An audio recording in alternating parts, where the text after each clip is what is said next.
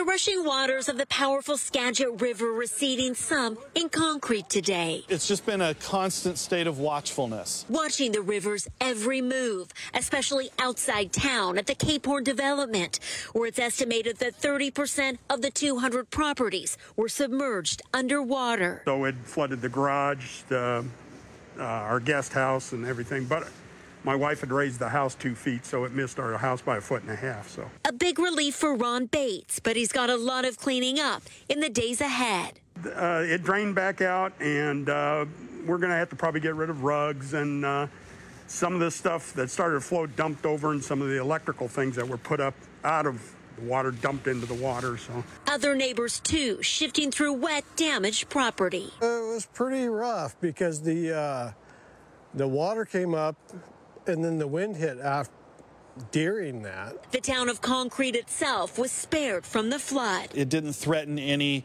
property with buildings on it. But power in the downtown core out until late today. It didn't stop the local hardware store from providing supplies to those in need. Selling a lot of gas cans and uh, kerosene, lamp oil. The days ahead for many here in Cape Horn will likely not be easy. It's depressing. It's a mess. I feel so bad for so many people in here. And the National Weather Service tells me that the Concrete area will remain above flood stage until sometime Thursday afternoon. So folks here have a couple more days to go.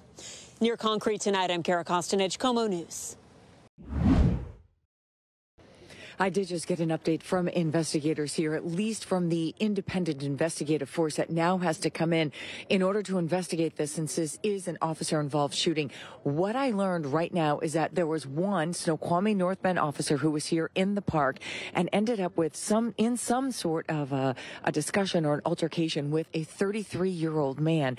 Now, the stories she tells us, the investigative team tells us are a little bit conflicting. So they're still trying to sort out all the information, but what they have right now is that there was one male officer here from Snoqualmie North Bend, one 33 year old man who is now dead. That man accused of going for the officer's gun and the officer then shooting.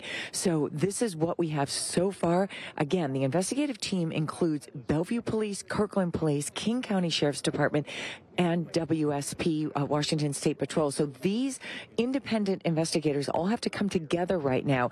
And this is why it's taking a little bit longer to get some of this information because they have now all come from their various jurisdictions. They're here together now and they're trying to store, sort out stories. Debbie Christopherson with that team told us that some of the stories they're getting right now are a little bit conflicting.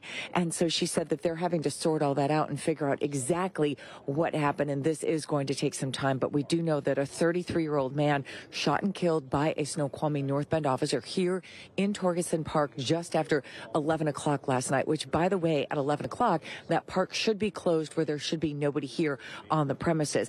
That's the other question that we have that investigators just don't have an answer for us yet. Was that officer here responding to an actual 911 call or was the officer just here checking out the park knowing that it should be closed and people should not be in the park? So these are some of the questions that that we're asking, and investigators are still working to figure out those answers too. Live in North Bend, Denise Whitaker, KOMO News. cannot come out here and harass people. This is Charles Woodward. Neighbors call him Lawnmower Man because he has so many laid out on the sidewalk at the corner of 8th Avenue Northwest and 49th Street in Ballard. Every time they ask him to turn down the loud music or noise, neighbors say he goes off. I'm allowed to make noise at night just like they are. Neighbor Kelly Davidson says the loud music, grinding metal, and the annoying hum of a generator doesn't seem to care. Keeps her up at night. In fact, has threatened my neighbors. Davidson lives near Woodward and his three cars, two wooden sheds, and 20 plus lawnmowers that take up the sidewalk. We're kind of stuck right now in this situation. Sean Telford also lives nearby and says he's reached out to every city agency for help. The Hope team said there's nothing they can do if Charles doesn't want services. There's they can't force him to take it. Including Councilmember Dan Strauss and Mayor Jenny Durkan. Do nothing Durkan doesn't answer her phone. She doesn't respond. But Telford says nobody addresses the problem. The selective enforcement of our rules around here is really wearing down the compassion that we have for this issue. Councilmember Strauss says the vehicle outreach team is out almost daily in Ballard trying to help people living in RVs and cars, but no immediate solution for the neighbors dealing with Woodward. We heard the Hope team came and offered you housing. What kind of housing? What with other crazy people? What are you stupid. We've also been trying to get some straight answers from the Seattle Department of Transportation, the agency that's supposed to be enforcing the 72 hour rule on vehicles that sit idle on the street.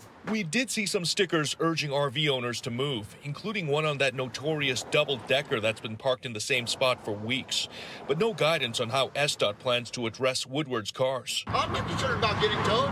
Ain't nobody gonna touch my So until then, Davidson and some other neighbors are trying to file a restraining order against their homeless neighbor, We're planning to go to court. hoping at the very least it forces him to turn it down a notch. It is off limits to you.